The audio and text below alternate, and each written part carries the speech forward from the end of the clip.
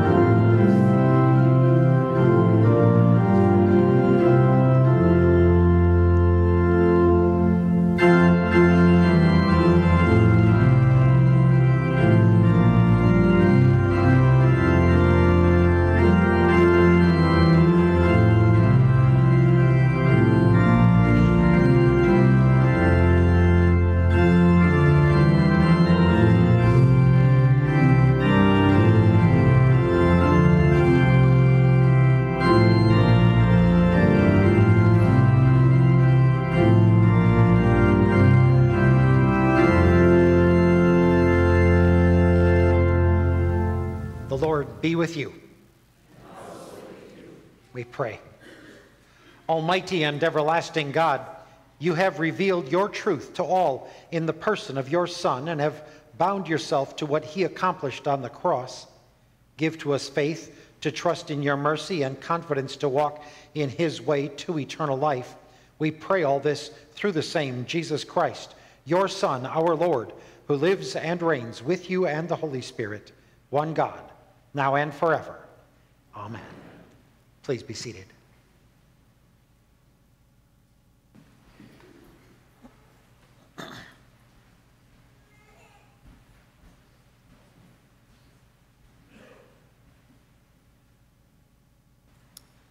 The Old Testament reading for today is taken from Genesis chapter 39. Regardless of the circumstances of your life, you can hold fast to the promise of God that He is with you. Know that you can trust Him. Now Joseph had been brought down to Egypt, and Potiphar, an officer of Pharaoh, the captain of the guard, an Egyptian, had brought him from the Ishmaelites, who had brought him down from there. The Lord was with Joseph, and he became a successful man. And he was in the house of his Egyptian master.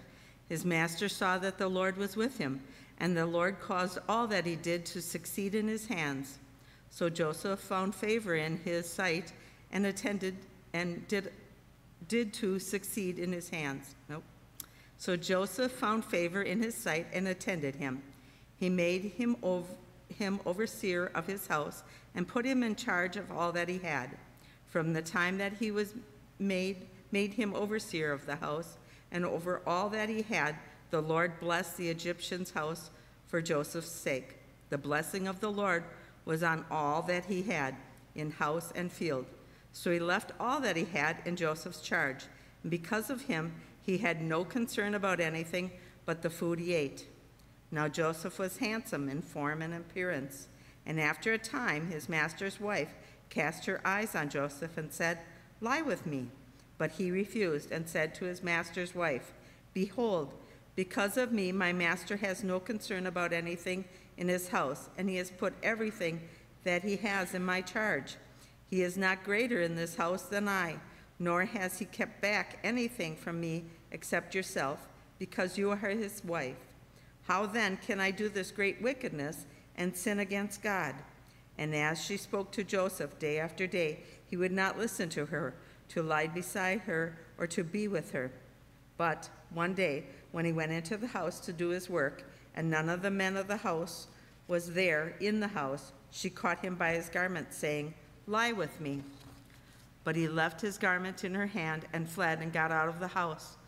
And as soon as she saw that he has left his garment in her hand and had fled out of the house, she called to the men of her household and said to them, See, he has brought among us a Hebrew to laugh at us. He came to me to lie with me, and I cried out with a loud voice. And as soon as he heard that, he lifted, I lifted my voice and cried out. He left his garment beside me and fled and got out of the house. Then she laid up his garment by her until his master came home.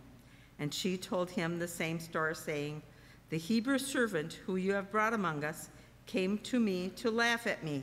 But as soon as I lifted my voice and cried, he left his garment beside me and fled out of the house.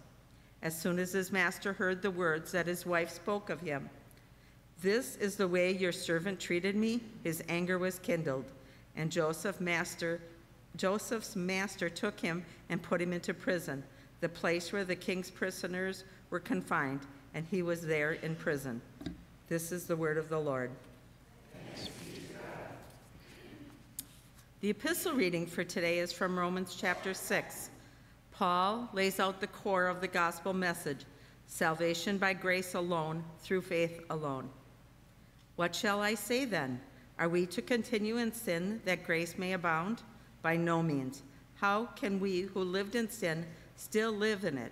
Do we not know that all of us who have been baptized into Christ Jesus were baptized, baptized into his death? We were buried, therefore, with him by baptism into death, in order that, just as Christ was raised from the dead by the glory of the Father, we too might walk in newness of life. For if we had been united with him in a death like his, we shall certainly be united with him in a resurrection like his. We know that our old self was crucified with him in order that the body of sin might be brought to nothing so that we could no longer be enslaved to sin. For one who has died has been set free from sin. Now, if we had not have died with Christ, we believe that we are also live with him. We know that Christ, being raised from the dead, will never die again. Death no longer has dominion over him. For the death he died, he died to sin, once and for all. But the life he lives, he lives to God. So you may also consider yourself dead to sin and alive to God in Jesus Christ Jesus. This is the word of the Lord. Excuse me. Please do stand for the reading of the Holy Gospel. the Holy Gospel is according to St. John, the 18th chapter. it reads there Jesus went to the Mount of Olives. Early in the morning, he came again to the temple. All the people came to him, and he sat down and taught them. The scribes and the Pharisees brought a woman who had been caught in adultery, and placing her in the, the midst, they said to him, Teacher, this woman has been caught in the act of adultery. Now, in the law of Moses, it is commanded us to stone such a woman. So what do you say? This they said to test him, that they might have some charge to bring against him. Jesus bent down and wrote with his finger on the ground. And as they continued to ask him, he stood up and said to them, Let him who is without sin among you be the first to throw a stone at her. And at once he bent down and wrote on the ground. But when they heard it, they went away one by one, beginning with the older ones, and Jesus was left alone with the woman standing before him. Jesus stood up and said to her, Woman, where, where are they? Has no one condemned you? She said, No one, Lord. And Jesus said, Neither do I condemn you. Go and from now on sin no more. Again, Jesus spoke to them, saying, I am the light of the world. Whoever follows me will not walk in darkness, but will have the light of life. So the Pharisees said to him, You are bearing witness about yourself. Your testimony is not true. Jesus answered, Even if I do bear witness about myself, my testimony is true, for I know where I came from and where I am going, but you do not know where I come from or where I am going. You judge according to the flesh. I judge no one, yet even if I do judge, my judgment is true, for it is not I alone who judge, but I and the Father who sent me. In your law it is written that the testimony of two men is true. I am the one who bears witness about myself and the Father who sent me bears witness about me. This is the gospel of the Lord. Praise to you, O Christ. Please be seated. We're going to sing verses 1, 7, and 9. Verse 1, 7, and 9 of hymn 766.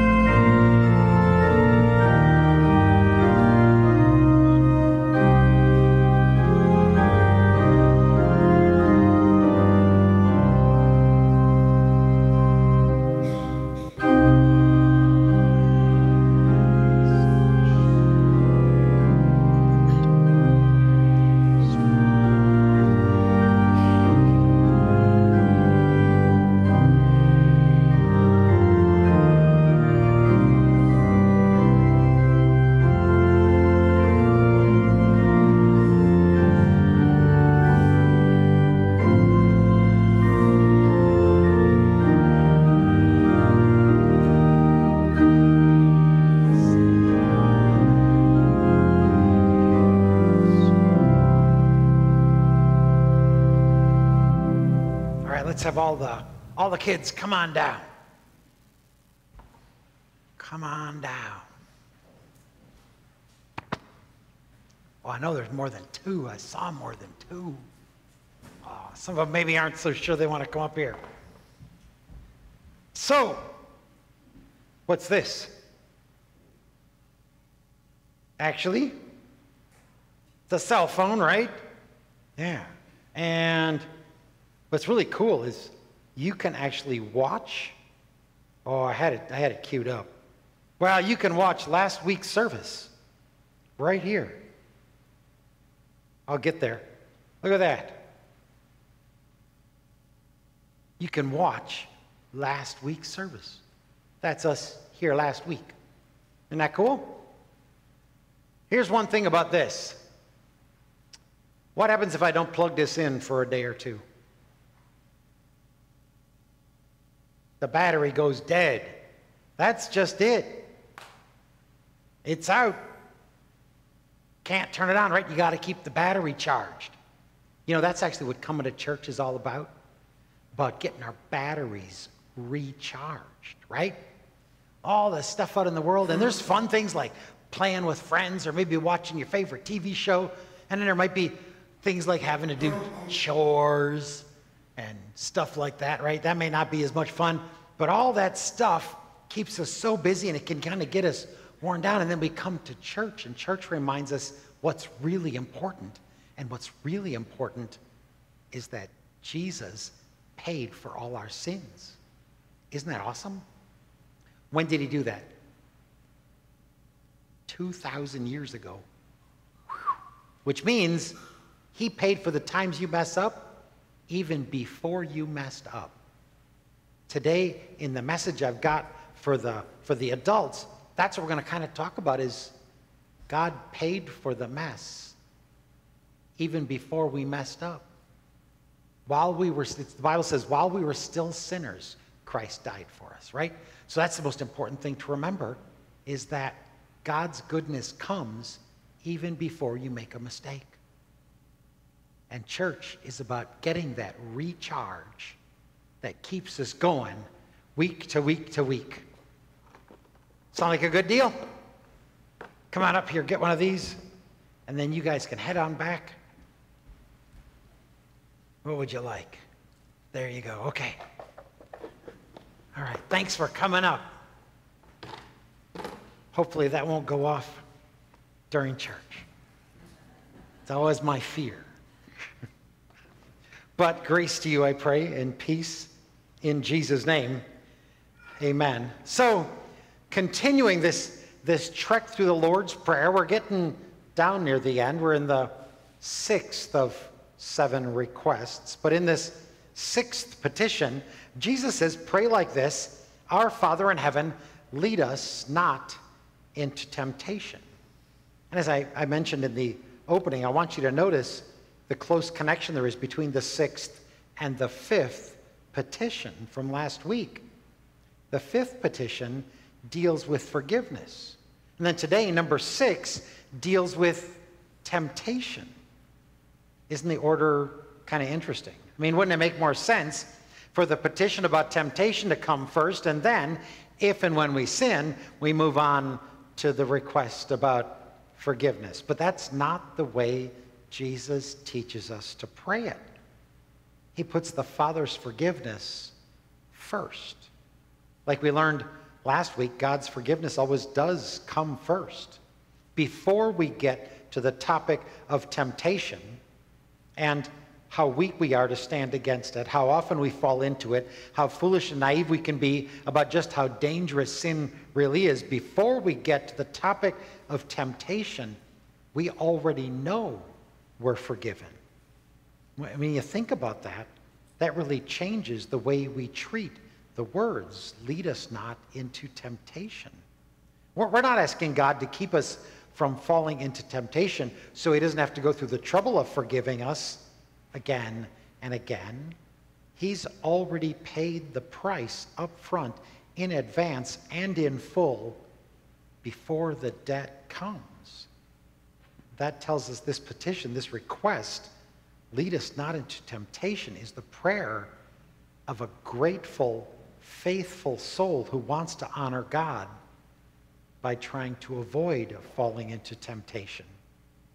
Now, we could say the, the opposite, right? Maybe we should say, well, since God is so good in forgiving all my sins first, even without my prayers, maybe I don't need to be so concerned about sin, about temptations that come my way. I mean, why should I bother to worry about these things? The more I sin, the more of God's grace I get. Just be comfortable with my sin so God's forgiveness and His grace may increase and abound. Why not? Because, well, you know as I do, that would be an abuse of God's grace. It would be an abuse of His love. It would be an abuse of the body and the blood of Jesus Christ shed for us, which we will receive just minutes from now. It would be an abuse of your holy baptism. St. Paul actually answers that very question specifically. He says, What should we say then? Are we to continue in, gra- in sin that grace may abound? By no means. How can we who died to sin still live in it? Do you not know that all of us who have been baptized into Christ Jesus were baptized into his death? We were buried, therefore, with him by baptism into death, in order that just as Christ was raised from the dead by the glory of the Father, we too might walk in newness of life. A new kind of life, a life striving always to avoid what we know is inevitable. We know we're going to mess up. We know we're going to sin. Try as we might to dodge it. Lead us not into temptation is the prayer of a grateful soul who, in thanksgiving to God for his grace, is honoring our Lord's suffering and death on the cross, knowing it was for my sin that he was crucified, died, and was buried. The purpose of that tormentuous, dark Friday was that he shed his blood to wipe your slate completely clean. How can we have anything but gratitude? And how else can we show it but to try to resist every temptation, praying God would help us to do it? So St. John talks about this, this woman we heard about in the Bible story, right? I'm sorry, in the, in the gospel lesson. The scribes and the Pharisees bring this woman who had been caught in adultery and placed her in the midst of Jesus. And you wonder why they only brought one person. But they say, Teacher, this woman has been caught in adultery. The law says she should be condemned. What do you say? And of course, they're doing this because they want to try to force him into a question where no matter what answer he gives, they can get him.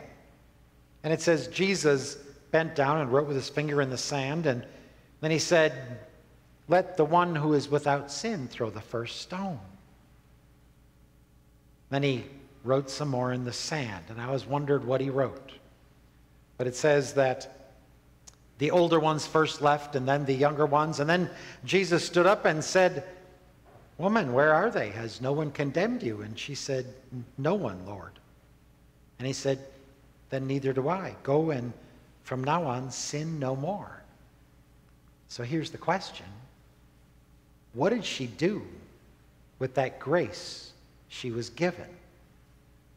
How did she live the rest of her life? And you know, the truth is, the Bible doesn't tell us. We don't know. For all we know, she went right back to her old ways. But hopefully, prayerfully, she was so thankful for Jesus' kindness that she repented. She turned from her old life and walked in that newness of life that Paul teaches us Jesus gives. That new life Jesus gave her that would be the only really appropriate response, the honorable response, the faithful response. Hopefully, prayerfully, she prayed something like, Our Father in heaven, lead us not into temptation. Temptation's goal is to cause you to sin. It's sin that, that ultimately separates us from God and cuts us off from God. If you can avoid temptation, you stand a good chance of not sinning, right? If only that were true, or if it were that simple. In, in one of Martin Luther's commentaries on this prayer, he said, We are beset before and behind temptation and cannot throw it off. There's no escaping it. Luther identifies the source of the temptation as the devil, the world, and our own sinful self, which really does cut off any means of escape because you can't escape the world, you can't escape yourself, and the truth is, you can't escape the devil. He's coming for you like a roaring lion, and he's going to get you. That really means anything, absolutely anything, can become a temptation to sin. We, we kind of like to think temptation to sin is found only in the, the bad things, the evil things, the sinful things. If only it were that simple. If something as innocent as a pleasing to the eye piece of fruit can become temptation to turn us away from God, probably just about anything can. That's what makes our journey of faith through this life so dangerous, so precarious. We may think we've charted out the safe path, the path to follow. We may think ourselves experts in the, in the Word of God and His love. We might think we can identify those snares and traps along the way that would catch us. The truth is, we can never escape it. We can never escape the temptation that has completely surrounded us. In Jesus' high priestly prayer, it's called, it's this prayer he gives for you. He's not just praying for his disciples, he says he's praying for all those who would come. That includes us. It's in John 17. You might want to read it this week. Jesus says something interesting. To, he prays to the Father, I do not ask you to take them out of the world. Jesus doesn't say, if you follow me, if you're my disciple, then temptations will flee or the Father will take you away from them. In fact, he says really just the opposite to his disciples. He says temptation will continue surround, to surround you, even though he claims us as his own.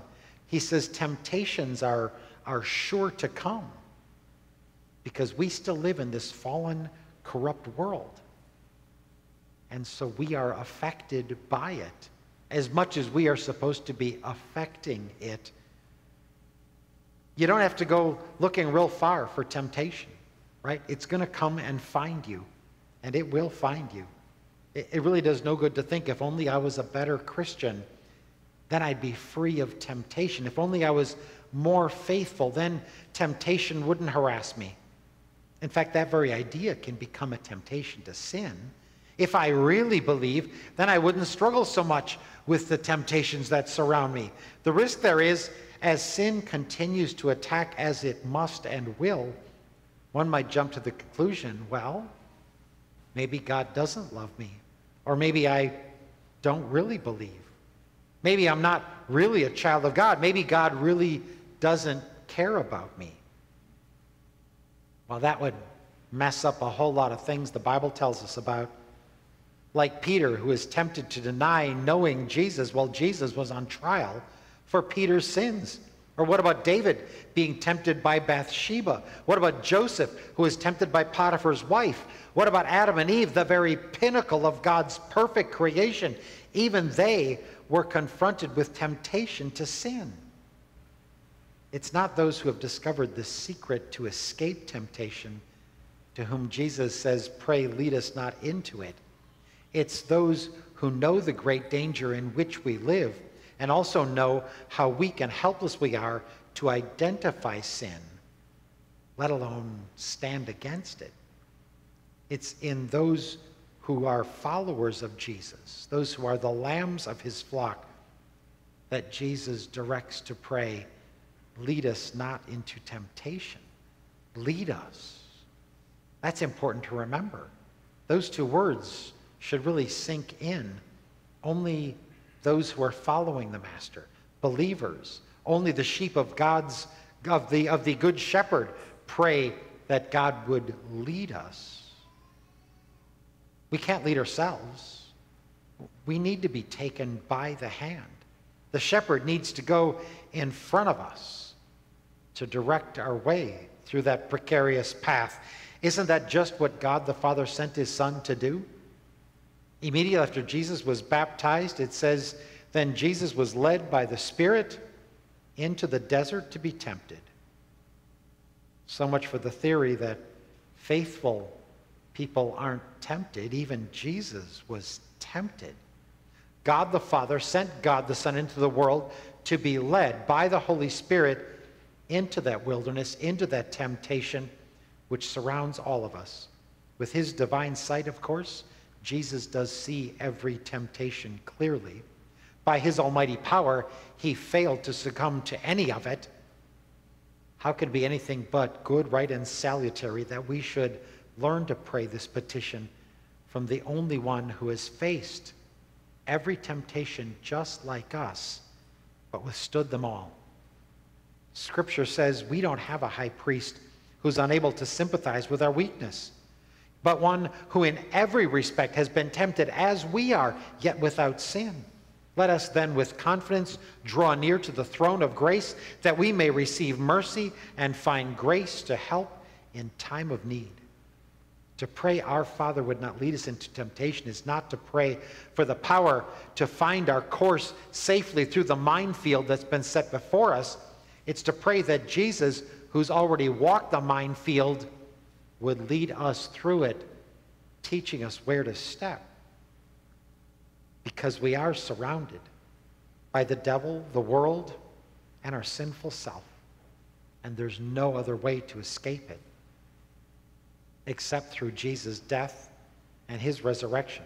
By his cross, he conquered the devil, he overcame the world and our own sinful self. Your body is a temple of the Holy Spirit who brings us to our Father as people who are grateful for the grace and the desire to resist temptations to sin so that we can be something that glorifies Him.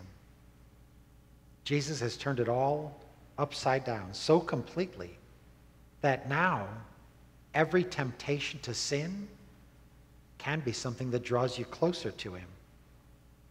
Now, when you're tempted, we know we can pray to a God has already, who has already forgiven us, the more we're tempted, the more we pray.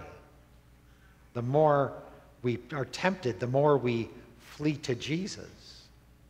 The more we remember these words lead us not into temptation. I pray that would be true for all of us in Jesus' name. Amen.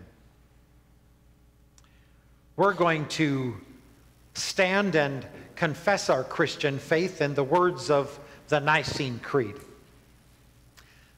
I believe in one God, the Father Almighty, maker of heaven and earth, and of all things visible and invisible, and in one Lord Jesus Christ, the only begotten Son of God, begotten of his Father before all worlds, God of God, light of light, very God of very God begotten, not made, being of one substance with the Father, by whom all things were made, who for us men and for our salvation came down from heaven and was incarnate by the Holy Spirit of the Virgin Mary and was made man and was crucified also for us under Pontius Pilate. He suffered and was buried, and the third day he rose again according to the Scriptures and ascended into heaven, and sits at the right hand of the Father. And he will come again with glory to judge both the living and the dead, whose kingdom will have no end. And I believe in the Holy Spirit, the Lord and giver of life, who proceeds from the Father and the Son, who with the Father and the Son together is worshiped and glorified, who spoke by the prophets and I believe in one holy Christian and apostolic church. I acknowledge one baptism for the remission of sins, and I look for the resurrection of the dead and the life of the world to come. Amen. We go to our Lord in prayer. Almighty God, we give thanks for all your goodness and bless you for the love that sustains us from day to day. We praise you for the gift of your Son, our Savior, in whom we have redemption, the forgiveness of sins we thank you for the Holy Spirit, the Comforter, for your holy church, for the means of grace, for the lives of all the faithful and just people, and for the hope of the life to come. Help us to treasure in our hearts all you have done for us. Enable us to show our thankfulness in lives that are wholly given to you. Lord, in your mercy, hear our prayer. Lord, save and defend your church purchased with the precious blood of Christ. Strengthen your faithful people through your holy word and your holy sacraments. Make them perfect in love and in all your good and in all good works, and establish them in faith. Lord, in your mercy, hear our prayer. By your word and your Holy Spirit, comfort all who are in any, any need of sickness or adversity. For Joe, for Dale and Nancy, for Jerry, Irvin, Terry, Pat, Ruth, Jim, for Larry, Travis, Ryan, John, for Norma, for Betty, for Georgie, for all those that we name in our hearts and in our minds. Bring consolation to them and grant to them a measure of your love, taking them into your tender care. Lord, in your mercy, hear our prayer. Then finally, all these things and whatever else you know that we need, grant us, Father, for the sake of him who died and rose and now lives and reigns with you and the Holy Spirit, one God, now and forever. Amen. Please be seated as our offering is gathered. We'll sing verse 1 and 2 of hymn 781.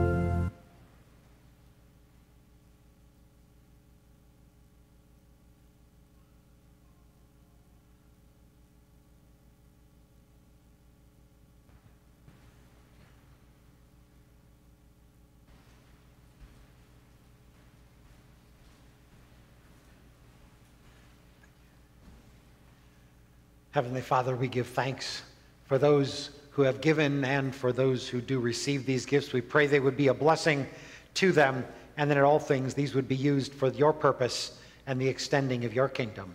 In Jesus' name we do pray that. Amen. We're going to turn to page 208 in our hymnals. Please stand. The Lord be with you. With you. Lift up your hearts we lift them to the Lord. Let us give thanks to the Lord our God. It is right to give him thanks and praise. You are holy and merciful, Lord God, for you have manifested to us your own Son to be our Savior and Redeemer. He has accomplished our salvation by his suffering in the flesh and the blood he shed upon the cross. As he has fulfilled his promise and accomplished all things by his death and resurrection, so now keep us in him until the day of his coming, when with angels and archangels, with cherubim and seraphim, with the whole host of heaven, rejoice to stand before you, joining, evermore praising you and singing.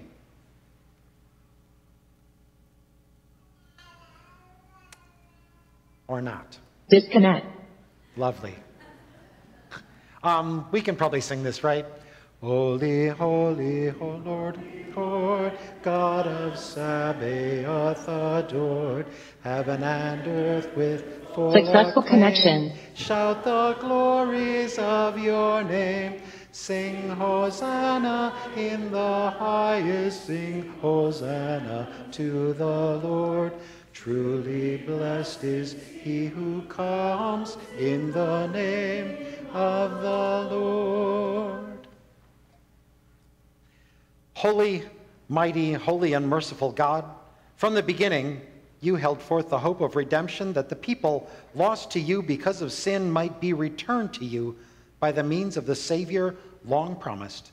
Now, having fulfilled all things for our salvation by the offering of his flesh for the life of the world, and his blood atoned for our sin, grant us your Holy Spirit, that we, whom he has bidden, may come in confidence to receive all that he has promised Now, by his own bidding, we come in his name to his supper, that we may be strengthened in body and soul upon the food of his flesh, as we pray in his name and as he taught us. Our Father, who art in heaven, hallowed be thy name. Thy kingdom come, thy will be done, on earth as it is in heaven. Give us this day our daily bread, and forgive us our trespasses as we forgive those who trespass against us. And lead us not into temptation, but deliver us from evil. For thine is the kingdom, and the power, and the glory, forever and ever. Amen. Our Lord Jesus Christ, on the same night when he was betrayed, took bread, and when he had given thanks, he broke it, gave it to his disciples, and said, Take, eat. This is my body, which is given for you. This do in remembrance of me. In the same way, also after supper, he took the cup, and when he had given thanks, he gave it to them, saying, Drink of it, all of you. This cup is the New Testament in my blood, given for you for the forgiveness of your sins. This do as often as you drink it in remembrance of me. The peace of the Lord be with you always. Amen. Um, I apologize. I'm trying to get there.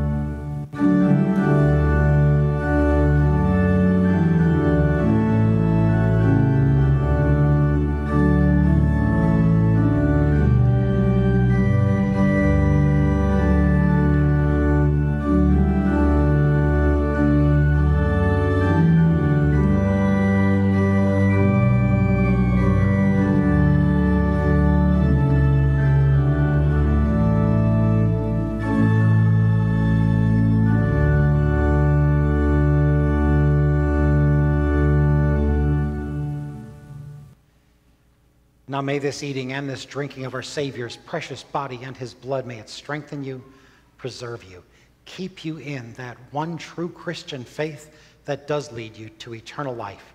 Then know in peace and know in joy your sins are forgiven you. Amen. Please stand for prayer. Of your goodness, O Lord, you have bestowed upon us the bread that nourishes our bodies, the bread of life that nurtures us to life everlasting. Grant that what you have begun in us, you may also bring to fulfillment on that day when distance shall no longer divide us, and we shall be one people in your presence forevermore. This we pray through Jesus Christ our Lord, who lives and reigns with you and the Holy Spirit, one God, now and forever. Amen. And then with believing hearts, receive the blessing of our God. The Lord bless you and keep you. The Lord make his face shine on you and be gracious to you. The Lord look upon you with his favor and grant you his peace. Amen. Please be seated. We're going to sing verse 1 and then 4 and 5 of hymn 744.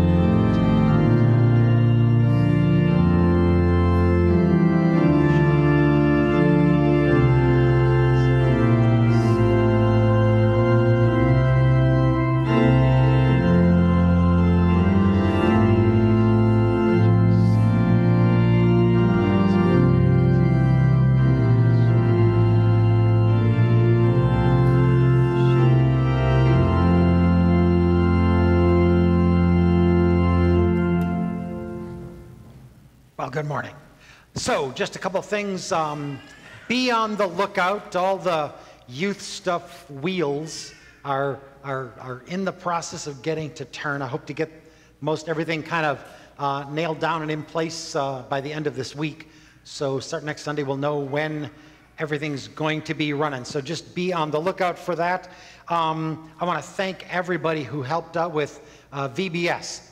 Um, we just we ran into a few conflicts with uh, other things that were going on. So I think the formal count was we had one more volunteer than we had kids.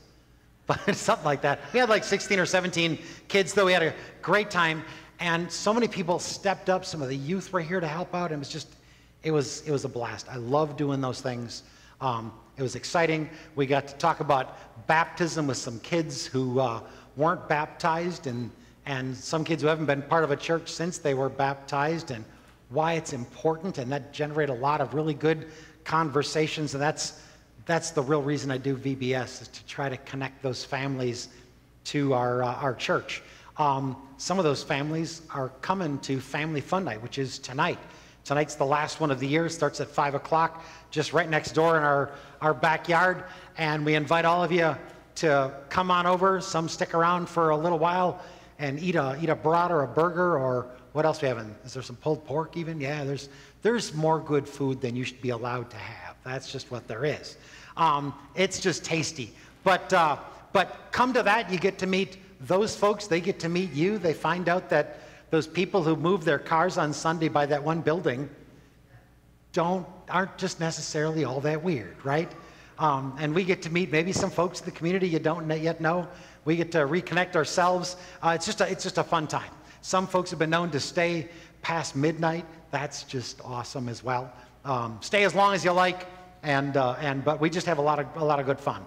Last thing is, you know, we got a big, huge apple tree, right? And what? Don't tell them. Don't tempt them. Oh, with the apple.